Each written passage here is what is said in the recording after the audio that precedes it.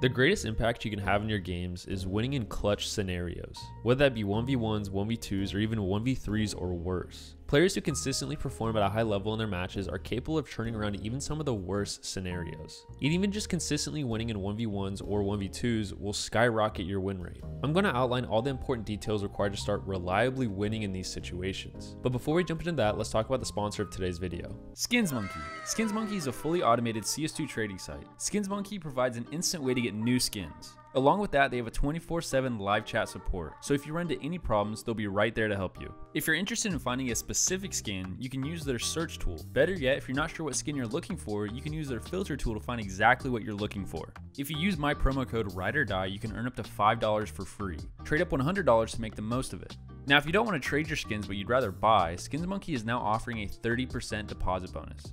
And if you use my promo code RYDERDIE, you'll receive an additional 5%. Remember, use code RYDERDIE to get up to $5 for free and claim your 35% deposit bonus. Thank you Skins Monkey for sponsoring this video.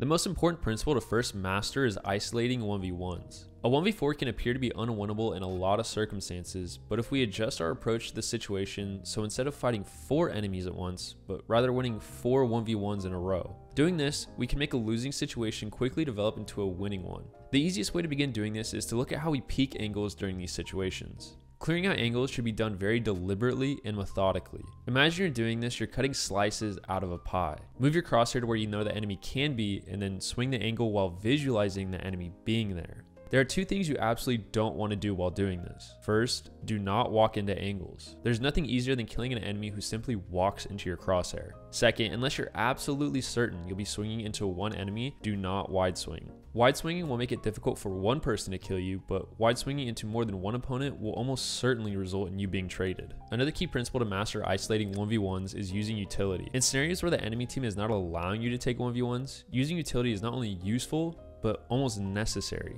Molotovs and smokes are the two best tools at your disposal for creating windows of opportunity. For instance, if you're wanting to plant B while you're playing Anubis and you hear a CT running through Temple and you also know one's in E-box, you can molly Temple off and swing the CT hiding in E-box. Doing this will give you a 7 second window to force a 1v1.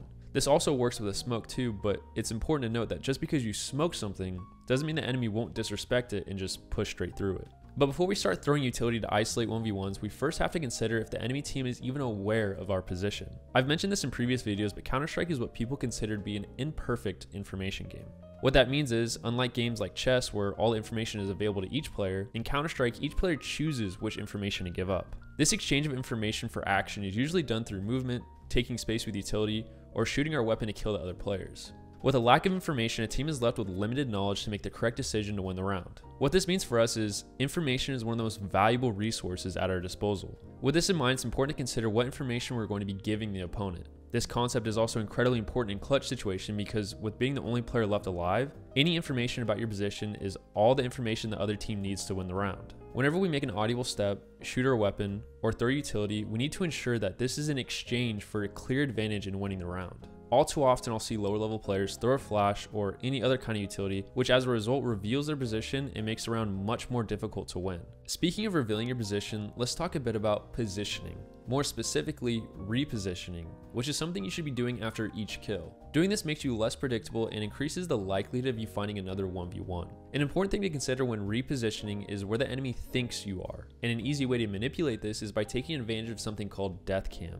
Something a lot of players forget is immediately after you're killed by another player, you have a few moments to see what that person is doing and where they're headed. You can easily manipulate the information being given to that player's teammates by doing a sort of misdirection with the death cam. This type of play is something I see all the time in my FACEIT lobbies, and honestly, I've seen it fool even some of the best players in my region. An easy way to start implementing this into your gameplay is once you get a kill, simply move towards a bomb site or an area of the map that you have no intention of going to, and then follow through with your initial intentions. One thing a lot of players are doing wrong is not being aware of the time left in the round. The time remaining in the round should dictate how you approach any scenario. For instance, as a CT when the clock is running out, you should always consider the time remaining in the round and ask yourself, do they have enough time to plant? Sometimes just not fighting and living will result in a round win. Also as a T, the time remaining in the round should dictate your pace of play. If there's 20 seconds left and you're in a 1v3, there's no point in slow clearing angles and walking to a bomb site. Instead, it's time to consider the fastest way to get the bomb planted safely to provide yourself with more time. But once the bomb is planted, as a T, if you're in a 1v3 or worse situation, it could be beneficial to make an aggressive play even after the bomb is planted just to swing the odds more in your favor.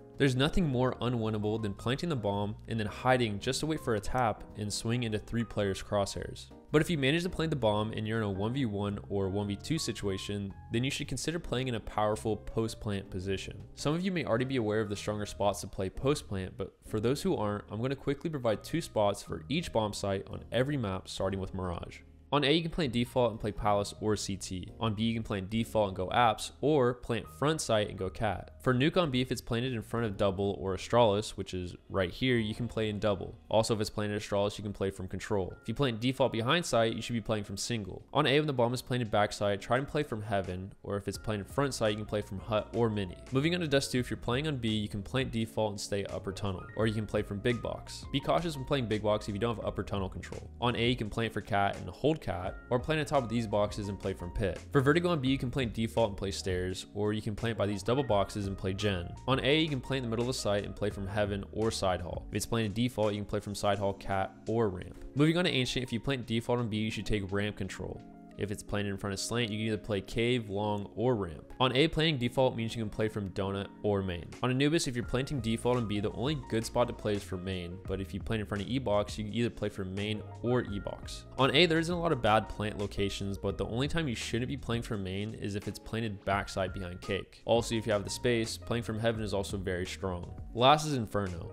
For B, you can plant default and play banana, dark, or new box. I personally think playing from banana is the strongest, but it's very susceptible to being smoked off during retakes. You can also plant behind fountain and play from church. On A, one of the strongest post plant positions in the game is apps if the bomb is planted default. Also from the same plant location, big pit or boiler are also very strong. While we're on the topic of post plant, we should talk a little bit about playing the bomb. Something that has won me countless 1v1s and also something I've relied on to find consistent success in my games is how I approach a 1v1 post plant as a T. First, I almost always use one of the spots I previously mentioned, and second, I always consider the time remaining on the bomb once I hear the opponent tap at a defuse. If I know there's less than 10 seconds left on the bomb, which if you don't know, it's when the bomb ticking sound changes.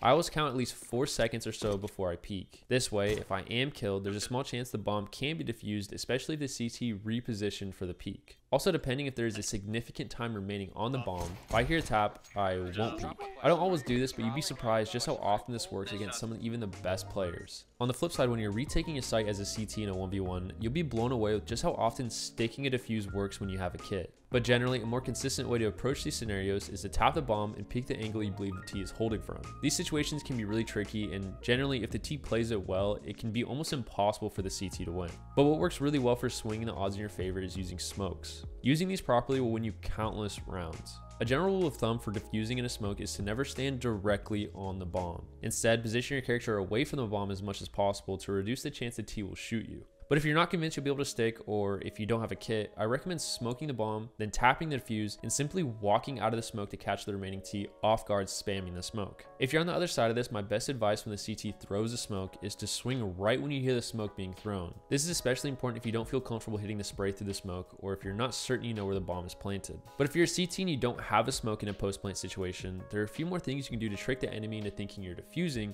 or at least swing the odds more in your favor. First, while defusing, you can actually scope in and out with any weapon that has this function. The audio cue for this isn't very loud and it doesn't travel all that far, but for more inexperienced players, this may make them think you're actually not sticking at a fuse. You can also throw grenades while sticking. All you have to do is left click a grenade before tapping the bomb, then release it after you start sticking. This can also trick inexperienced players into thinking you're not sticking. And even against better players, throwing a flash and it popping while you're defusing could blind the enemy team and result in you being able to stick the defuse. While we're on the topic of tapping defuses and sticking, it's important to mention the strength of tapping a bomb plant as well. For whatever reason, this catches people off guard all the time especially in lower elos. This is also really useful if you're sure there's someone on site that you need to get rid of in order to plant the bomb. Try this in your matches, you'll be surprised just how often this works. Something that's worth mentioning is knowing when to save. While I was climbing through every rank in Faceit, this was something that I noticed that hardly anyone does in lower elos. There's absolutely no shame in understanding your limitations as a player and saving your team's economy. A good way to look at it is like this. What's the probability of you winning a 1v5 post plant as a CT without a kit or any utility? But what are the odds if you give your top frag a rifle next round that they could potentially make a round winning play? Every play in Counter-Strike can be looked at as a percentage play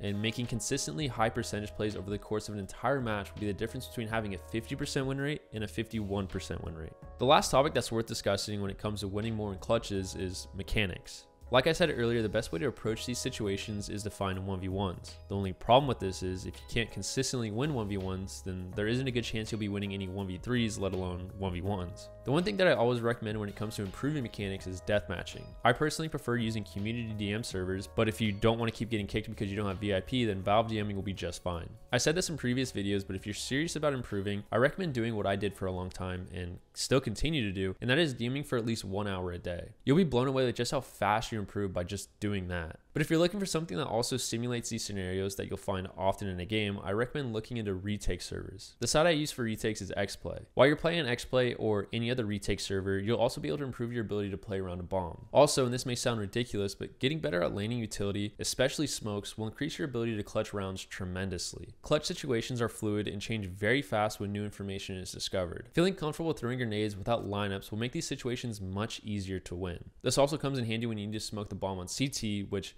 ideally isn't done when you're standing directly on top of the bomb. But even if you have the best mechanics, if you lack game sense, then you'll struggle with winning in these situations. That's why experience is king. As you continue to play the game, predicting how the enemy reacts to certain information will become easier and easier. If you want to learn more about developing game sense, then I strongly suggest you check out my game sense guide. Link to that will be in the description.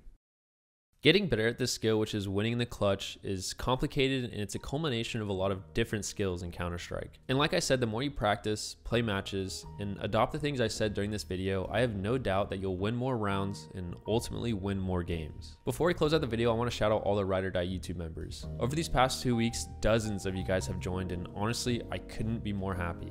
Your donations and memberships are what keeps this channel going, and if enough people join, I can officially make creating content my full-time job. Also, before we go, I want to invite you to the RyderDie Discord. There you can find people to play with, post pictures of your pets, join giveaways, ask me questions, and take part in 10-mans. But that's all I got. If you enjoyed the video, be sure to leave a like, and if you want to stay up to date with my content, be sure to subscribe and hit the bell to be notified. Thanks for watching.